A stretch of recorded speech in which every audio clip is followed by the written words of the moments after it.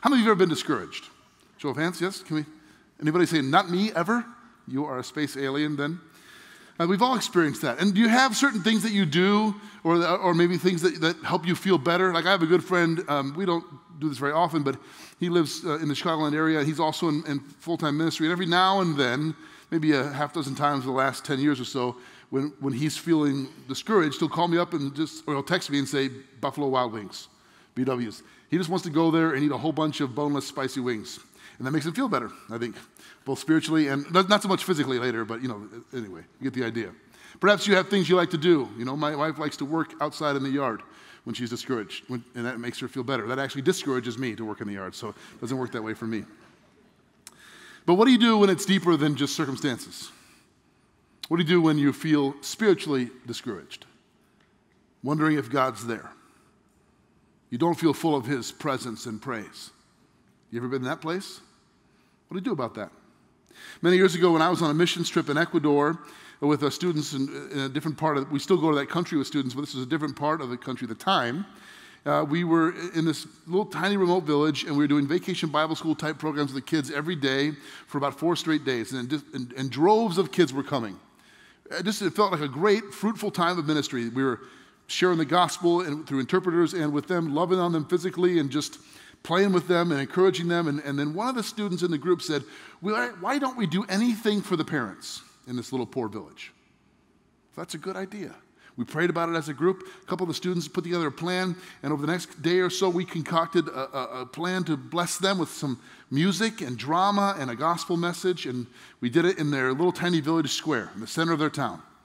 We prayed about this, we were excited about this, and we lugged all of our equipment on a Sunday afternoon after church out into the into the uh, village square there, and we put on this performance. We sung songs of praise, there was a drama, the, the whole thing. And you know what? By about a quarter of the way through it, 15 minutes in or so, it dawned on me nobody cares. We had some food to hand out. People came over, got their snacks, and just walked on by. Nobody stopped. Nobody sat down. Nobody observed, you know. Nobody seemed to give, you know, two cents for what we were doing. We walked back. It was a total, radically different experience than be with the kids. We walked back to where we were staying, and that night we talked about that, and the students were extremely discouraged. We prayed about this. We planned this. Why didn't God show up? Why didn't anybody respond? It was not an easy question to answer. What do you do when you feel like you've poured your heart out for God or on behalf of God or in service to God and not much comes of it? Well, more importantly, what does God have to say to us when we feel that way? In our series, our study through the book of Acts, we're in the last section of this the, the, of the story of Acts, which is really our story as well shipwrecks, riots, and prison, the adventure of reaching. It's these crazy uh, interconnected stories that make up the sort of the end of the book of Acts, which is really the beginning still of the church and of our story today. Um, and all along in the last couple weeks, we've been tracking with the Apostle Paul, and we've been see, saying, um, seeing how he's been saying how important it is for him to get to Jerusalem. In Acts chapter 21, verses 13 and 14, he says this very thing when he's telling the apostles there, the disciples there, that he, he's, he's bound and determined to go to Jerusalem. Acts 21, and we'll have it on the screen there, verses 13 and 14. Then Paul answered, what are you doing, weeping and breaking my heart? For I am ready not only to be imprisoned, but even to die in Jerusalem for the name of the Lord Jesus. And since he would not be persuaded, we ceased and said, Let the will of the Lord be done. The Jews, uh, friends of Paul's, were warning him. Christian believers that were Jewish converts, Christian believers that were traveling with him were warning him. Prophets were warning him. Many people warned him if you go to Jerusalem, it's going to go bad for you. And Paul says essentially, I know this. I know this, but I'm bound and determined to go anyway. And when he finally gets there and preaches the gospel of Jesus Christ in that great city, and I can't help think, Pastor Brian and I were there just two months ago in that the holy city in, in Jerusalem, and it's still a very uh, religiously charged place with Christians, Muslims, and Jews living side by side. History lives in that city. When, when Paul gets there, and he's, he's been praying about it. He's been uh, feeling God's Spirit move him. He's overcome a great deal. Now he knows he's going to Rome. He was in Ephesus. It's not exactly on the way, if you know your geography, to go back to Jerusalem. It'd be faster just to go straight to Rome. So he, he feels this is what God wants for him. And when he finally gets there, And he finally preaches the gospel. The results are less than overwhelming. Pastor Brian will talk more about this next week. In Acts 21, he meets with the church, and the Christians in Jerusalem aren't exactly, they're not rude to him, but they're not exactly throwing him a party either. In fact, in Jerusalem, the Christian believers had learned to coexist with Jews that were converts who still struggled with obedience to the Old Testament law. And so they sort of just accepted that, don't make waves. And if you read the text, they seem more concerned with Paul not making trouble for them than excited that the, the great apostle's there. And then Paul's uh, reception among the Jews, his own uh, people of heritage, is even worse, significantly worse. In Acts 22, Paul's preaching to a crowd of Jews in the temple that had earlier tried to kill him. And they actually listened to him up until the point he told them that God had told him to go to the Gentiles. So he's in the temple preaching the gospel. The Jews are angry with him. They try to kill him. And while he's being taken out of there by Roman guards, he stops and says, Let me just give them one, let me talk to them one more time. And he preaches again. And he gives his testimony. Pastor Brian will get, go into that in detail. And at the end of that, they try to, they, they, they, they're so incensed, they try to pull him apart even there. The crowd erupts, they're wild shouting. They're basically saying, Paul can't be allowed to live. Not what you'd hope for, right? All your prayers and longing to go to Jerusalem and preach the word. And they would have succeeded had Paul not been arrested by Roman authorities. And Paul has to invoke his own citizenship there to avoid being pulled apart, being scourged, and we'll get into that next week. In order to get to the bottom of all this, then, the Roman um, centurion who arrests Paul invites the Jews back the next day and says, I want to hear from you, and puts Paul in front of them. So, twice now, Paul's preached to them, and twice now they've tried to kill him, and twice he's been saved by the Roman authorities. A third time, if you're Paul, you're thinking, don't invite those guys. We're not getting along very well, right? He invites them back, puts Paul in front of them. And that's where we pick up the story in Acts 22, verse 30. We'll read through the, the first 10 verses of chapter 23 as well. You can turn there with me or follow on the screens. But on the next day, desiring to know the real reason why he was being accused by the Jews, he unbound him and commanded the chief priests and all the council to meet, and he brought Paul down and set him before them. That's this is him is the Roman authorities, right? He brings Paul out, brings him back. let's get to the bottom of this. Verse 1 of 23. And looking intently at the council, Paul said, Brothers, I have lived my life before God in all good conscience up to this day. And the high priest Ananias commanded those who stood by him to strike him on the mouth. Then Paul said to him, God is going to strike you, you whitewashed wall. Are you sitting to judge me according to the law? And yet, contrary to the law, you order me to be struck?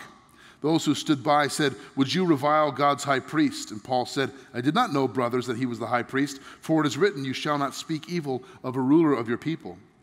Now, when Paul perceived that one part, one part were Sadducees and the other Pharisees, he cried out in the council, Brothers, I am a Pharisee, a son of Pharisees. It is with respect to the hope and the resurrection of the dead that I am on trial. And when he had said this, a dissension arose between the Pharisees and the Sadducees, and the assembly was divided.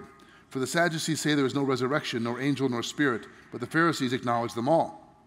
Then a great clamor arose, and some of the scribes of the Pharisees' party stood up and contended sharply. We find nothing wrong with this man.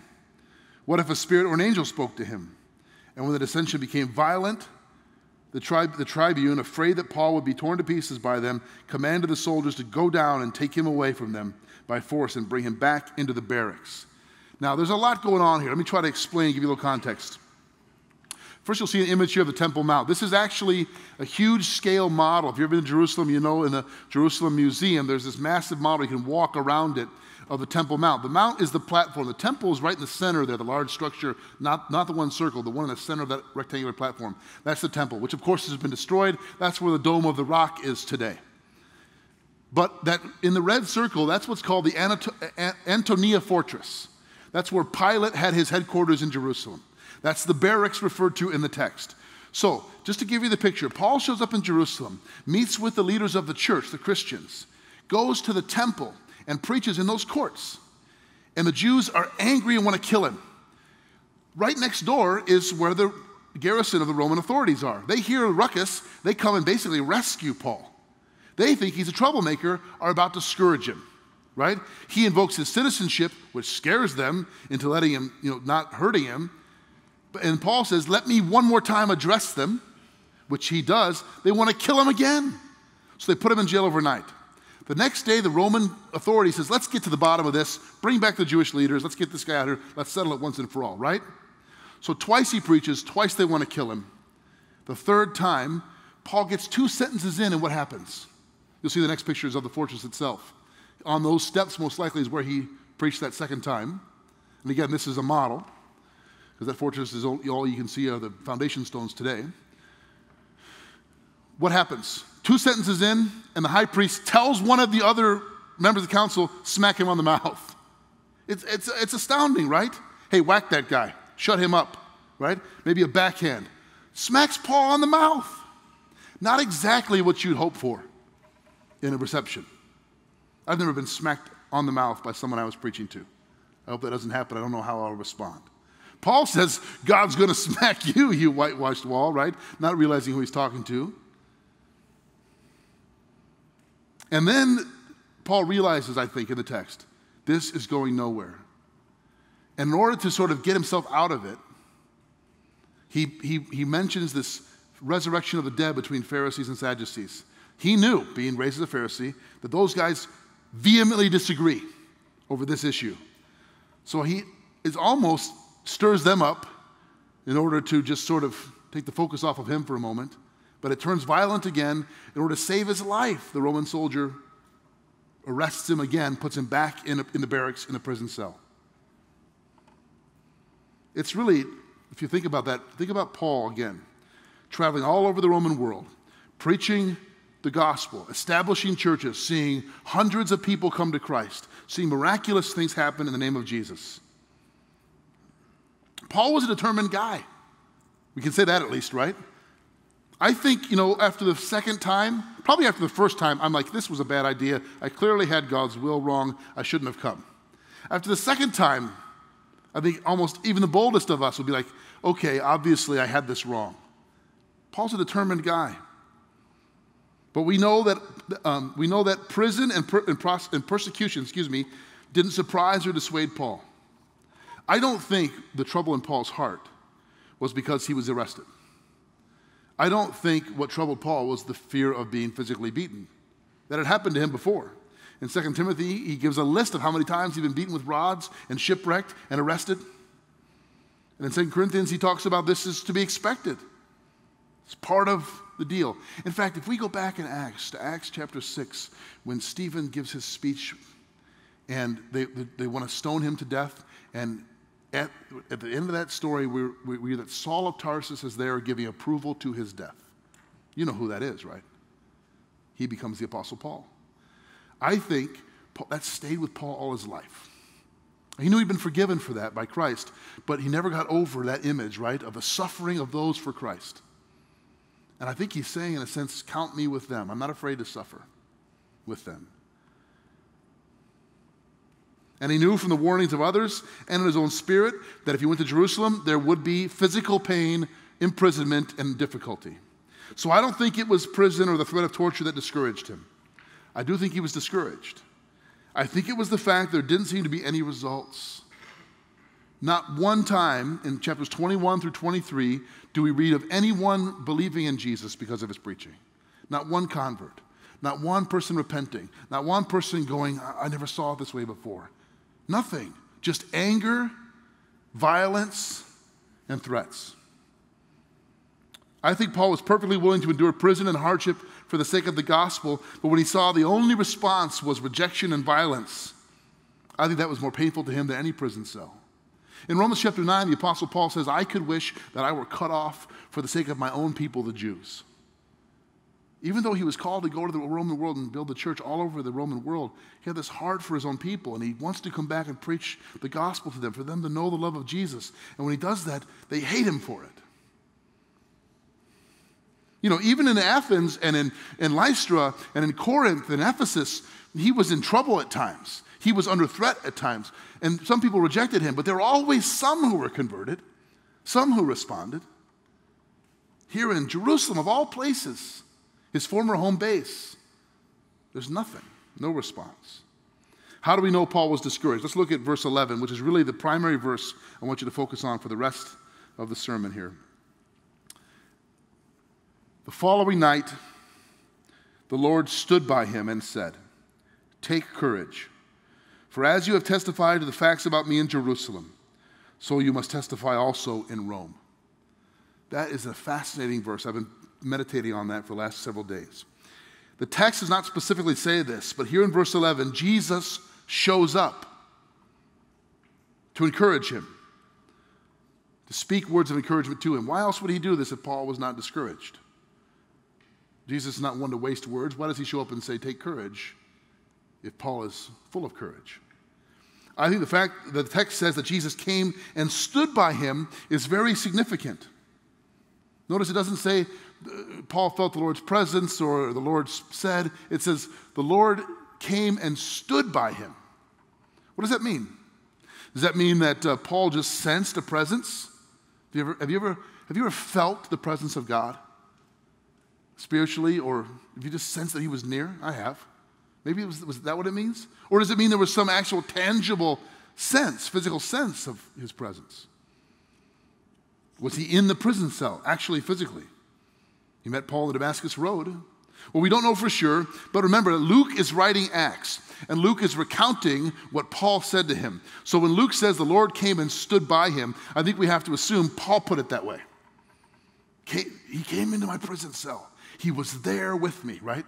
Luke is recording what he's heard for us. And I think that's not insignificant. Whatever the case, the point for us is that Paul knew for certain that God was with him. He knew without doubt that the presence of the Lord was near him. This is the encouragement of his presence. And I think it's the primary thing every one of us needs when we're discouraged. The first thing we need, before words, before change of circumstances, before answers to our problems, before some solution, is to know that God is near. Wouldn't you agree with that? When you're at your lowest point, you might not always think about it. You're thinking about how can I fix this and how can I get out of this and what's going to happen to me. But what we most need is to know that God is near. And I think it's very important the text says the Lord came and stood by him. You know, he sailed on a ship from Miletus near Ephesus to, to Rome and landed in, in Tyre and Sidon and got to, or excuse me, got to Jerusalem, not Rome. And none of his friends are recorded in this story. They're not with him. Where were they? Probably after the first threat of death, you know, Paul, you're on your own now. But Jesus comes and, comes and stands by him. I imagine, and I'm only imagining here, Paul in his cell that night in the fortress of Antonia, right? Replaying the events of the past several days in his mind. Did I hear you wrong, God? Did I get this wrong? Didn't you want me to come here? Did I, did I say something wrong? Maybe it was that Gentiles thing. If I just left that out, maybe they wouldn't have freaked out and tried to kill me. How could I, what did I, could I have done differently? Do you ever do that? Do you ever replay the tapes in your mind? How could this have gone differently? I imagine Paul doing that. Second guessing perhaps the words he chose. And if you think, well, Paul wouldn't do that, Paul wouldn't second guess, Paul was a man of confidence and conviction, he wouldn't be discouraged or second guess. Let's talk about another man of courage and confidence, John the Baptist. You've heard about him, right? Remember John the Baptist, when he is in prison, uh, uh, Herod has imprisoned him before he kills him, cuts off his head. Herod's in prison, and uh, John's in prison, and he sends one of his disciples to Jesus to say, What? Are you the one, or should we look for somebody else? Luke 7, Luke 7 verse 19, you can look that up. He's because he's second guessing, right? Did I get this right? Did I have it right, God? Is this the one? Because it's not working out like I thought it would. I don't see the evidence of your kingdom like I hoped I would yet. I think Paul's having that feeling. God, I knew there'd be hardship, but I thought there'd be some results. I thought there'd be some movement of your spirit. I thought there'd be some repentance, some Jews coming to faith, something. Of course, God knows what was in Paul's heart and his mind, just like he knows exactly what's in ours. And the very first thing he offers Paul is what he offers us. And frankly, it's the very best thing he can give us himself. The best thing God can give you at all times, especially when you're feeling a discouraged, discouraged soul, is a sense of his presence, is the knowledge that he's with you. Now, I think, though it's the best thing He can give us, and He does give it to us, I think often it's the thing we le- are least likely to look for initially, right? We're focused on what? Our immediate circumstances, our problem. When it comes right down to it, what you and I most need from God is not for Him to magically change things, not for Him to get us out of whatever it is, not for Him to fix the problem, but to be with us. Just to know we're not alone. Now, here's one of our problems, I think, and I do this as well. My, in my work as a pastor, I see this in people all the time. talking with a couple people just this past week where this is the primary issue. We tend to evaluate whether or not we think God is with us based on what we think He is or is not doing for us. You understand? We tend to st- evaluate God is with me or He's not based on what we think He is or is not doing in our circumstances. So is God coming through for me? Oh, He's with me. Is life still hard? Where are you, God? Which of us has, hasn't done that? I thought you were going to be there for me, defined as fixing this problem. Notice Jesus shows up. He says nothing about Paul's arrest. He doesn't say, Don't worry, I got a plan to break you out of here, right? He just comes and stands by him. Things are hard, we think, Well, God must not be with me.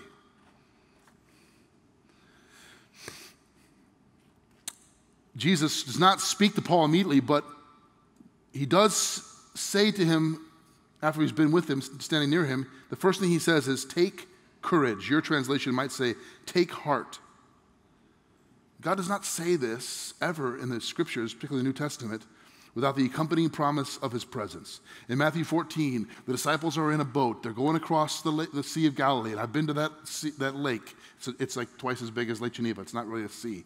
But the wind and rain comes off Mount Hermon, and you can see how it could become dangerous fast. And there, there, a storm comes up, and they fear for their lives. And Jesus comes walking on the water. And what does he say to them?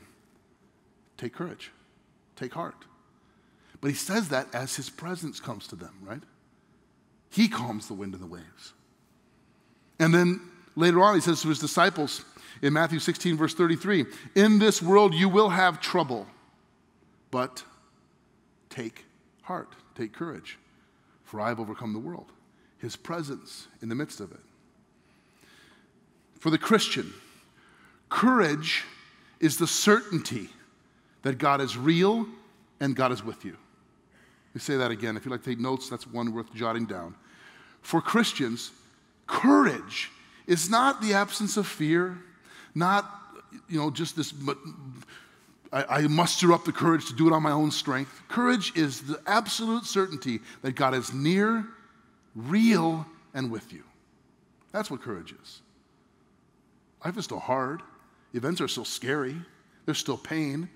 But it's the, it's the rock solid certainty that God is real and God is with me. That's what courage is.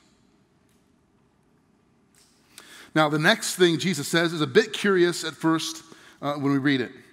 Uh, verse 11 again. The following night, the Lord stood by him and said, Take courage, for as you have testified to the facts about me in Jerusalem, so also you must testify in Rome. Huh? How is that encouraging? What is Jesus actually saying here? This is the encouragement of past faithfulness. Let me explain. Jesus is saying essentially, You did it, Paul. You did what I asked you to do. You completed the mission. You came to Jerusalem and you testified about me. Now, we would look at the text, and I think Paul felt this and say, Yeah, but not very successfully. Is that what you wanted, God? I mean, nothing really happened there. But that's not the point. Jesus does not praise Paul for his success. He doesn't say, Look at all the converts you made. Why not? Because Paul doesn't make converts. Neither do you, and neither do I. He doesn't say, Look at, look at the difference you've made. All he says is, You obeyed me. You were faithful to me. Paul, I think, is looking at the circumstances and saying, You know, I could handle prison if lives are being transformed, but I don't see anything. God shows up and says, You obeyed me. That's what matters. You did what I asked you to do. That's what matters. There is something wonderfully uh, liberating about this when you begin to understand it. And I don't always have it in my heart and mind. But Jesus does not praise Paul for his success, he simply affirms his faithfulness. And when we get this into our mind and heart, A, that God is real and with us, he's present with us. Not whether or not we feel him or think we see him, we know that it's true because he's told us so. And he's given us his son, the incarnation, Emmanuel, God with us. We know it's true, despite how we feel in the moment. And the second thing, then, when we realize that all God asks us to do is be faithful. All God asks us to do is do what He's called us to do in His Word. That's hard enough, but that's always that's all that's required of us. We don't have to make anything else happen. We don't have to fix our children's problems. We don't have to convert anybody. We don't have to reconcile people together. God does those things. He just calls us to be faithful where we are. There's something freeing about that, I think. Paul had his share of success, no doubt.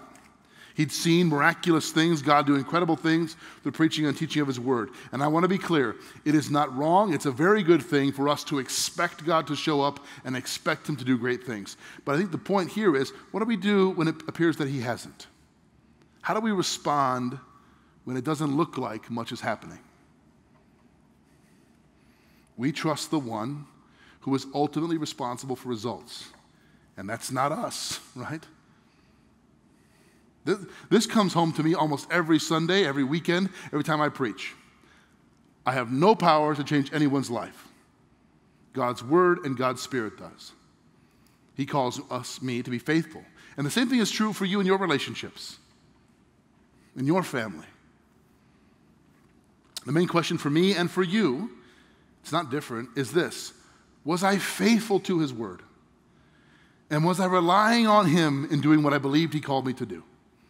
If you could answer yes to that, that you could have the encouragement of his past faithfulness, God would say to you, I'm pleased because you did what I asked you to do. Leave the rest to me.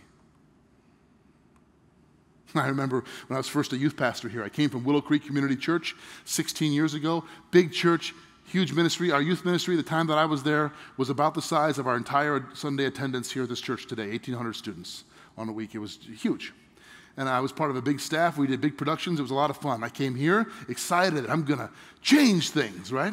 So I planned a big event. Blew almost half the year's budget on this one big fall kickoff event. We, had, we were going to grill out. We were going to do great games. We had a band. We had uh, everything. And nobody came. It was me and four church kids standing in this rented park with all this expensive equipment and all like four billion hamburgers, you know. I was so bitter and frustrated. I went home at that, I literally went home to Aaron that night. My, Noah and Hannah were little. Benjamin was not yet. And I said, I, I don't know if I, I think I made a mistake. Maybe I could do ministry at Willow with all the stuff around me, but I don't think I, I'm not, I was totally discouraged. And I had my moment, you know. I don't want to compare me, myself to Paul in a prison cell, but I had that moment of God saying, It's not about you. Be faithful. Be faithful to what I've called you to do. The second half of Paul's little statement here, he says, As you have preached in Jerusalem, meaning I told you to go, you went, you did it. Leave the rest to me. Then he says, You must also testify, testify about me in Rome. This is curious. It had long been Paul's desire to preach in Rome. Romans 1, verses 10 through 11, he talks about his longing to be with them, his deep desire to be with the church in Rome. This is the, the Roman church, the Christians in Rome, was one of the few in the New Testament that Paul did not plant or had not yet visited. Probably, most likely, Jews who were in town for Pentecost way back in Acts 2 hear the wonders of God proclaimed, get their hearts transformed, go back to Rome, and start a house church teaching about Jesus. And Paul longs to be with them. Also, Paul says in multiple places that it's his desire to take the gospel to the far reaches of the empire where it's not yet been preached. He refers to Spain because Spain was about as far as the empire went in those days. I think Paul is think, looking at Rome to encourage the church and to set up a new base of operations, right? Jerusalem, Antioch in the north, and now Rome, the new center to spread the gospel. Paul says as much in Romans chapter 15. And Jesus says, essentially, it's going to happen. In fact, in the text, he says, You must do these things. This, is, by the way, is the encouragement of future opportunity. The encouragement of future opportunity. Jesus says, You must testify about, testify about me also in Rome. Excuse me. The phrase testify, or uh, must testify, The word must in Greek means it is necessary, it has to happen. Uh, Luke uses that 22 times in the book of Acts. It must happen, it's necessary. God is saying, Jesus is saying to Paul, Paul, it's going to happen. You're going to get there, finally. Now, Jesus, in his mercy, leaves out the fact that he's going to go there as a prisoner and he's going to die there. But Paul doesn't to know that just yet. What he says to him is, You're faithful to me to get in Jerusalem, and I'm not done with you yet. Do you hear that? What encouragement that must have been to Paul. I'm not done with you yet. I still have plans for you. I could imagine Paul thinking, well, maybe my usefulness has been, my time's up. Maybe the run's over here. I did all these great things, and maybe it's somebody else's turn, and I'm kind of done here. And Jesus shows up, gives him his presence, says, You've been faithful to me in the past. I'm not finished with you. You're going to go to Rome. You're going to proclaim my name there. The encouragement of future opportunity. I don't know about you, but I want to know that God's not finished with me, despite my discouragements and my failures and my struggles. You want to know that? Hear God say to you, I'm with you. Think about this. Don't you long to hear God say to you, I'm with you? And I know things haven't turned out like you expected so far, but stay faithful to me because I'm not finished with you yet. Oh, to hear God say to you, I'm with you. And I know that when you look out at your life, you wonder what, what's going on. But stay faithful because I'm not done yet. I think that's what's happening here for the Apostle Paul. G. Campbell Morgan, a famous Scottish Presbyterian minister of the previous generation, writes about this very sermon, this very text. He says, All our fear, panic, and discouragement are ultimately the result of a dimmed vision of the Lord, a dimmed consciousness of Christ. I think he's exactly right. If you, tr- if you peel back enough layers in your discouragement, in your fear, in your anxiety, you get down to the fact that perhaps we, you are not really at the soul level convinced that God is real and God is near and God is faithful and He's not done with you yet. How do you know that? He's told you so in His Word. He who began a good work in you will be faithful to complete it and to carry it on the day of Christ Jesus. Friends, I don't presume to, uh, that all of you are discouraged here today. But I would go so far as to say that all of us have and at some point will feel that way. And when we do, I want to remind you again you need to hear God say to you from His Word, I'm with you. Stay faithful because I'm not done with you yet. We know that through Jesus Christ. You stand for closing prayer? And as we say, we say this every week, but if you're here and you'd like someone to pray with you, and to encourage you through prayer, come forward at the close of the service. We'd love to meet with you down front after the service. Let's bow together. Father, we acknowledge your faithfulness and goodness to us, even though sometimes we look at our circumstances and wonder where you are. Forgive us for our short sightedness and give us more faith. Because, God, for those of us who are discouraged and those of us who are encouraged, we all want to hear you say that you're with us and that you have not given up on us. And we praise you for that and we trust you for that in Jesus' name. Amen.